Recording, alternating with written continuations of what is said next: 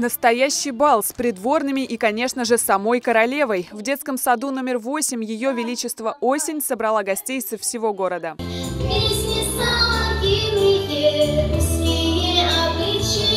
На конкурс «Планета танцев» приехали участники из всех детских садов Реутова в возрасте от 4 до 7 лет. Сольные выступления, дуэты, коллективы. Номинаций три – народный, детский и современный танец. Современный эстрадный танец – это танцевальные композиции с элементами гимнастики, э, с элементами использования направлений эстрадного танца, таких как ча-ча-ча, рок-н-ролл, и э, с элементами флешмоба. Все от идеи до декораций – плоды трудов коллектива 8 детского сада. Чтобы подарить детям праздник, взрослые работали не одну неделю. Этот проект создан силами нашего творческого педагогического коллектива. Он был предложен в управлении образования и был поддержан всеми садами города. В жюри независимые эксперты, педагоги, психологи и руководители танцевальных студий, в том числе знаменитого балета «Тодес». Призы и признания получили все, без исключения участники конкурса. Оценен труд музыкальных руководителей, который воспитывает и развивает детей именно в музыкальном танцевальном творчестве. Идея понравилась всем коллективам других детских садов. Скорее всего, конкурс «Планета танцев» станет в Реутове новой хорошей традицией.